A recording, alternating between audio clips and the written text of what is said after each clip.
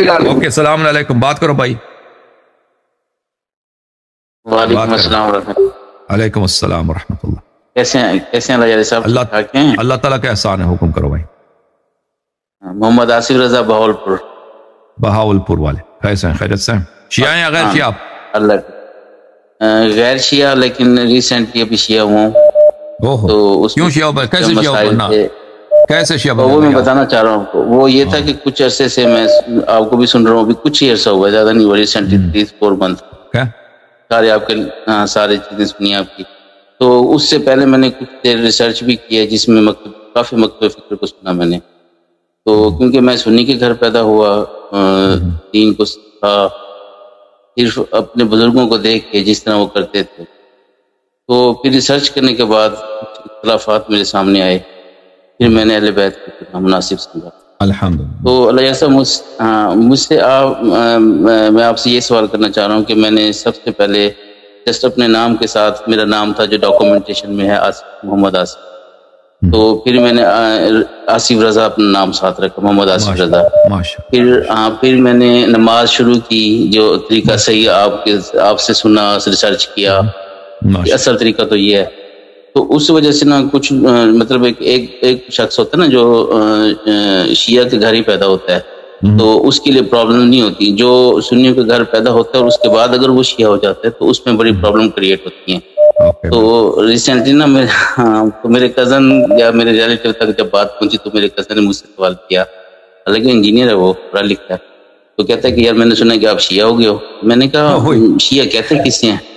हाँ। मैंने कहा शिया किसे कहते हैं? तुम्हारे मतलब क्या है शियत का मतलब तो मुझसे बोला कि तुम मौला अली और मानते हो। उन्होंने आगे लफ्ज नहीं कहे कहा मैंने कहा था अगर इनको मानने से शियत है तो अल्हम्दुलिल्लाह मैं शिया हूँ। हम्म। तो बस ये था उस, उसके अलावा फिर ना हाँ तो बस मैं ये, ये कहना चाह रहा हूँ कि आप मुझे बताएँ कि किस तरह से मुझे अब आगे क्योंकि मैं आपका तो फॉलोअर अब नया बना हूँ। पहले मैंने हर मकतब फ़िक्र को सुना है रिसर्च किया है कुछ बुक्स मैंने मंगवाई हैं उनको भी रिसर्च किया है हर चीज़ को सुना लेकिन मैं एंड में ये पहुँचा कि ये इज़ बेस्ट मेरे लिए जो सही। बैत है तो इसमें अगर मेरे से रिश्तेदार खत्म हो जाए मेरे से सारे भी खत्म हो जाए तो मुझे कबूल नहीं देखो भाई तो- आपका काम यह है कि किसी रिश्तेदार आप आखिर वज तक कोशिश करें कि उनके दरमियान रहता है ना जो चीज़ वो बर्दाश्त नहीं कर सकते आपके जो घर वाले हैं कजिन है चचा वगैरह। पड़ोसी जो चीज़ वो बर्द, उनके लिए बर्दाश्त करना मुमकिन है आप उनसे छुपा दें मख्फी रख दें ठीक है ना? क्योंकि वो बिला वजह लोग जाहिल हैं वो अपनी जहालत की वजह से आपसे दुश्मनी करेंगे।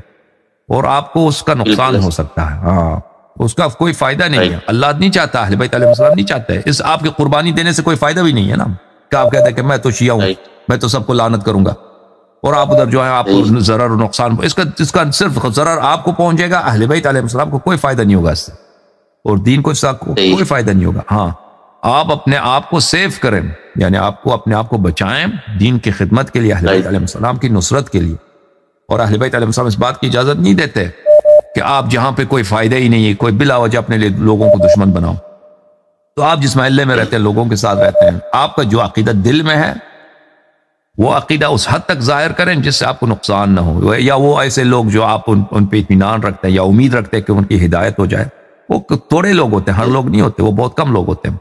तो उनके साथ बात करना। बाकी लोगों के साथ सामने अपने आप को मशहूर करने की ज़रूरत नहीं है बल्कि उनके सामने आप हमेशा जो है उन खुलफा का ज़िक्र करें तो उनको दस दफ़ा हज़रत कहते हैं दस दफ़ा रज़ी अल्लाह कहते हैं। दस दफ़ा उनको अमीर कहते हैं। कोई बात नहीं इससे इस, ये इबादत है ये जिहाद है। ये अल्लाह का रजा इसी में है। हाँ आप हम ऐसे जमाने में रहते हैं और आप कि इसमें इसमें जालिमीन की कसरत है और जालिमीन बेरहम है रहम नहीं करते वो लोग। और वो इसको इबादत समझते हैं कि किसी शिया को तंग करें किसी शिया को बेइज्जत करें। वो अपने लिए इस बात को इज़्ज़त इज़्ज़त समझ इबादत समझते हैं इस बात को। तो इसलिए आप बिला वजह ये, ये हर एक से मुनाजरा करना या इस तरह कभी इस तरह काम नहीं करना। बल्कि आप जो है अगलब लोगों से आपकी बात लोगों को शक भी ना हो काफिया हो गए ठीक है ना? लोगों को ये शक भी ना पहुँचे। आप इस तरह अपने आप को ज़ाहिर करें उनके सामने। लेकिन अपने हाँ अपने घर में, अपने बच्चों के साथ उनको हिदायत करें। खुद जो है, मजालिस में शरीक हों और शियों को अपना दोस्त बनाएँ। और आइंदा जाकर, मसलन बाद में अगर आप शिया कम्युनिटी में, क्योंकि शुरू में तो शिया आपके इतने दोस्त नहीं होंगे। लेकिन आगे जाकर कुछ साल गुजरना, जाने के बाद शिया भाई आपके जो है, वो आपको अपने अपने सीने लगाएँगे और शिया आपसे मोहब्बत करेंगे। और फिर उनकी दोस्ती बढ़ गई तो उनके साथ अगर आप गुल मिल गए तो फिर दूसरे रिश्तेदारों की ज़रूरत नहीं रहती आपको, ठीक है ना? आपके जो ईमान, असली भाई जो है, वो आपकी ईमानी भाई हैं। उस वक्त तक, जब तक आप मुखालिफिन के दरमियान रहते हैं, उनकी कम्युनिटी में रहते हैं, उनके साथ काम आपके उनके हाथ में है। यानी हमेशा उनके साथ आप मिलना बैठ बैठना बैठ, पड़ता है तो उस वक्त तक आप अपने आप को बचाए रखें। मगर ये वक्त है, जब शिया लोगों से दोस्ती हो गई, फिर उनके साथ मिल गए, फिर उनके मोहल्ले में चले गए, फिर तो वो बात मुख्तलिफ़ बन जाती है। ठीक है ना मेरे भाई?